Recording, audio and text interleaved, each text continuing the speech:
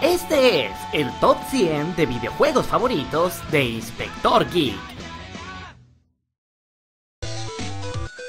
Número 73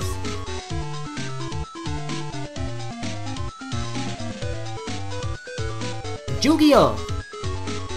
Cuando Yu-Gi-Oh salió en forma de cartas, pensé, ¿qué es eso? ¿Cómo se juega? Cuando pasaron la serie de televisión, pensé, ¿qué es eso? ¿Cómo se juega? Pero cuando al fin toqué el juego de Game Boy Advance, solo pude decir, ¡Ah! ¡Así se juega! ¡Qué padre! Este juego tiene el potencial de convertir a cualquiera en un fan de Yu-Gi-Oh! ya sea de la caricatura o del juego original, que es mucho más complejo.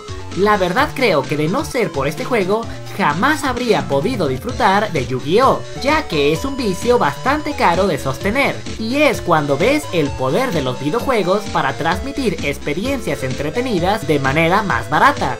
Y bueno, el mérito del juego no es simplemente emular el juego y ya, sino que en verdad tiene una manera compleja de irte haciendo querer jugar más y más, hasta que acabas con todos tus contendientes y ya hecho esto, quieres seguir haciéndolo más y más. Los juegos tipo Yu-Gi-Oh o Magic son cosas que cualquier amante del mundo de entretenimiento se debería dar la oportunidad de jugar. Y si no tienes mucho dinero para entrar a este mundo, este juego simplemente te brindará esa experiencia de manera más sencilla. Es uno de los juegos favoritos para jugar contra mi hermano.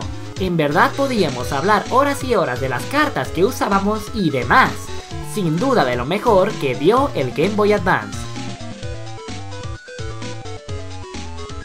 Si te gustó este video, no olvides poner like o suscribirte al canal para ver más videos de videojuegos, animación, cómics, análisis y muchas cosas más que el Inspector Geek analiza siempre. Si quieren ver este mismo videojuego dentro de un video más completo y más entretenido, den clic en el video que ven en pantalla o en los comentarios. Nos vemos en el siguiente puesto.